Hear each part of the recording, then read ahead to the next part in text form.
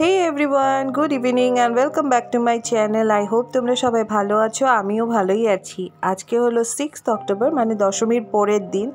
আর তোমাদের সবাইকে শুভ বিজয়ার অনেক অনেক শুভেচ্ছা। আর যারা আমার বড়, তাদেরকে আমার প্রণাম। তোমরা দেখতেই পাচ্ছ, আমি রেডি হচ্ছি। আসলে আজকে আমরা যাব পুজো ঘুরতে।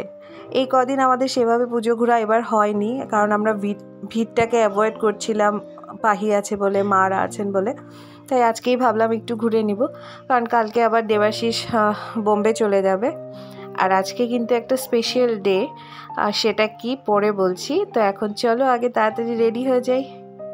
পাঁচটার মধ্যে বেরিয়ে পড়তে হবে।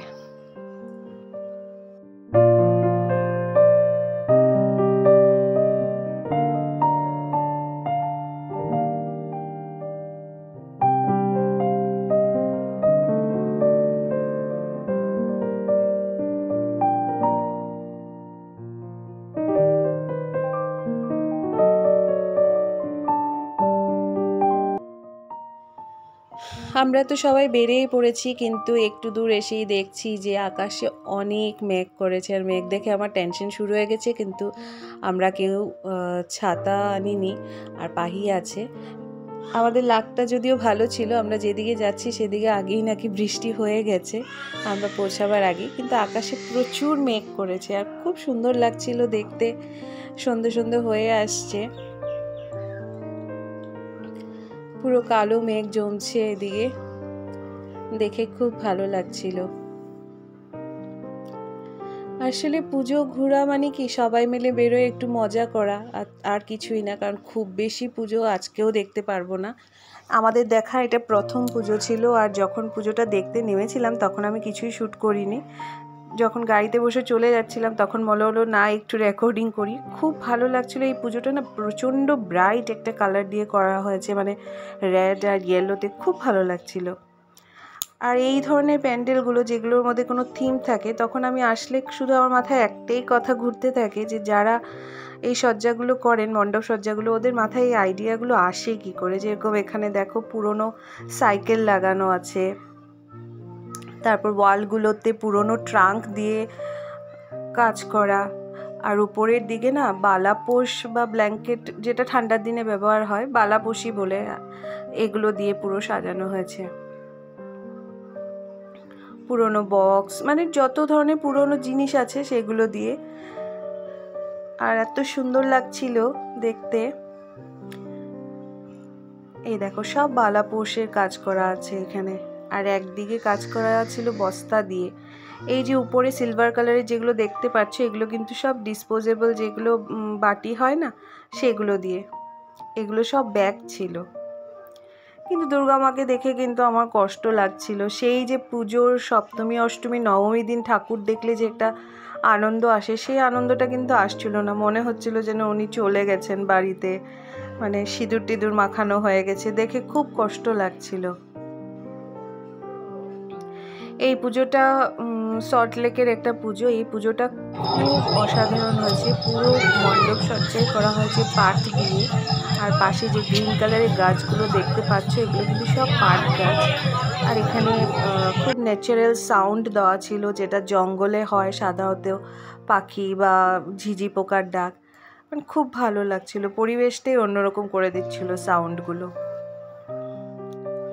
যাই হোক, আমরা বেশ কয়টা পুজো তো দেখেছি, কিন্তু সবগুলো পুজো আর শেয়ার করব না। তাহলে ব্লগটা অনেক বড় হয়ে যাবে। তোমাদের সাথে এই কটাই শেয়ার করলাম।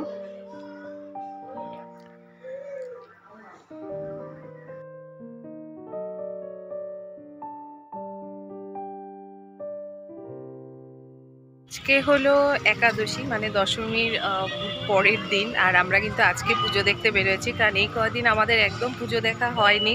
আর পুজোতে সেভাবে ঘোরা হয়নি। মা সামনের বছর এখানে থাকবেন কিনা সেটাও জানি না। তাই স্পেশালি মাকে পুজো দেখানোর জন্যই আজকে আমরা একটা একটু বেরোনোর প্ল্যানটা করলাম।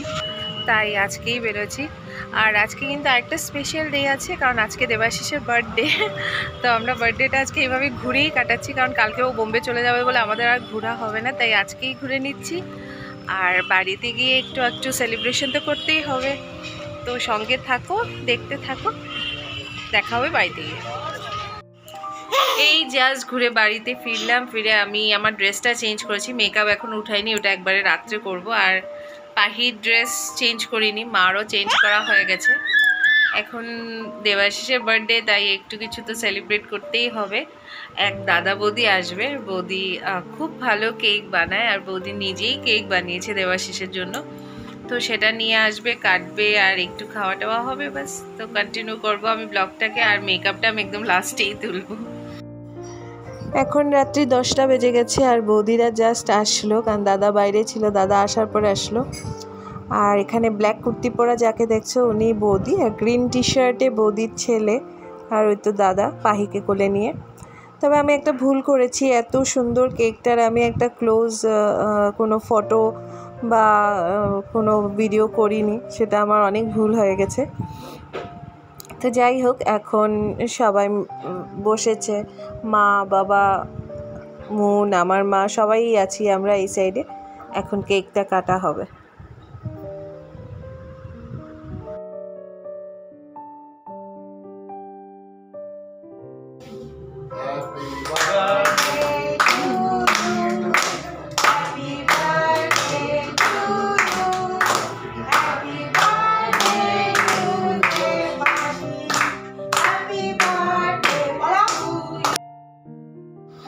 কেক কাটা হয়ে গেছে, এখন খাওয়া শুরু হবে। তবে অনেকটা রাত হয়ে গেছে, আর খাওয়া খুব একটা বেশি কিছু না। কেক, মিষ্টি, কোল্ড ড্রিঙ্কস আর ডিনার হিসাবে বিরিয়ানি।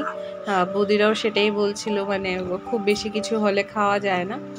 তো এখন খাওয়াটা একটু পরেই খাওয়া হবে। আর এখানে দাদাকে আমরা দায়িত্ব দিয়েছি কেকটা কেটে সার্ভ করার জন্য, আর দাদা সেটাই করছে। আর আমি প্লেট টেট একটু আগিয়ে দিচ্ছি। কারণ পাখিও খুব দুষ্টামি করছে, ওকেও নিতে হচ্ছে বারবার। ও বেশি মানুষ দেখলে এরকম করতেই থাকে। তো এখন কেক টেক খেয়ে আগে একটু জমিয়ে আড্ডা হবে, তারপর খাওয়া হবে, সঙ্গে সঙ্গেই খাওয়া হবে না। অনেকটা রাত হয়ে যাবে। আর আসলে দেবাশিস তো একদম ভোর রাত্রে বেরোয় যাবে, ওর ফ্লাইট আছে, ও বাড়ি থেকে তিনটের সময় বেরোয় যাবে। তাই চাইছিলাম যে একটু তাড়াতাড়ি করে ওকে একটু রেস্ট করার টাইম দিই, কিন্তু সেটা আর হলো না।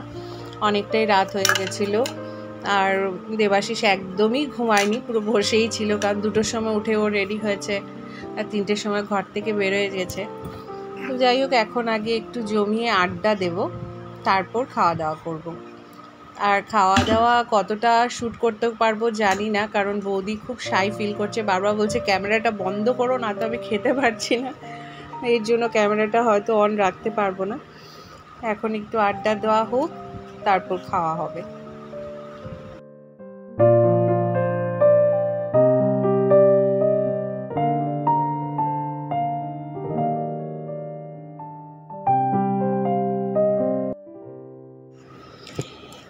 অনেকটাই রাত হয়ে গেছে আর আমি বিরিয়ানিটাও সার্ভ করে দিলাম। এতক্ষণ খুব জমিয়ে গল্প হলো, আমাদের অনেক ঘুরতে যাওয়ারও প্ল্যান হলো। জানি না প্ল্যানগুলো সাকসেস হবে কি না তবে দেখা যাক, হলে বেশ ভালো একটু ঘুরতে যেতে পারব। কারণ পাখি হওয়ার পর এখন পর্যন্ত আমি কোথাও যাইনি ঘুরতে। তো ছোটোখাটো কিছু একটা প্ল্যান হয়তো করা হচ্ছে, যাওয়া হবে, দেখা যাক। পুরো কেকটার আমি কোনো ক্লোজ শট নেইনি। এখন এটা কেটে হাফ খাওয়া হয়ে গেছে, তাও দেখাচ্ছি। দারুণ হয়েছিল দেখতে আর খেতেও প্রচণ্ড ভালো, তাই বুঝতেই পারছ। এতটা পুরো শেষ হয়ে গেছে আর এতটুকু আছে। এটা এগলেস বানানো হয়েছে।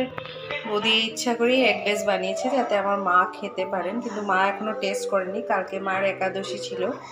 আজকে বিকেলে হয়তো খাব। খুব সুন্দর হয়েছে কেকটা। আর এইভাবে হাফ অবস্থাতেই আমি দেখালাম, কাল তো নেওয়া হয়নি। আজকে তোমাদেরকে আমি হাফ কেকটাই দেখাতে হলো, কালকে আমি ভুলে গেছিলাম, যাই হোক। আজকের ব্লগটাকে আমি আর, আজকে কিন্তু নেক্সট ডে হ্যাঁ আর সকাল থেকে আমি কিচ্ছু শ্যুট করতে পারিনি, এখন আমাদের লাঞ্চও করা হয়ে গেছে অ্যাকচুয়ালি শরীরটা একদম ভালো লাগছে না, বেশি ঘুরেছে বলে নাকি একটু টায়ার্ড টায়ার্ড লাগছে। আর পাহি খুব কান্নাকাটি করছে, যাই না কেন? দেবাশিসও নেই বাড়িতে, আজকেই রাত্রে চলে আসবে।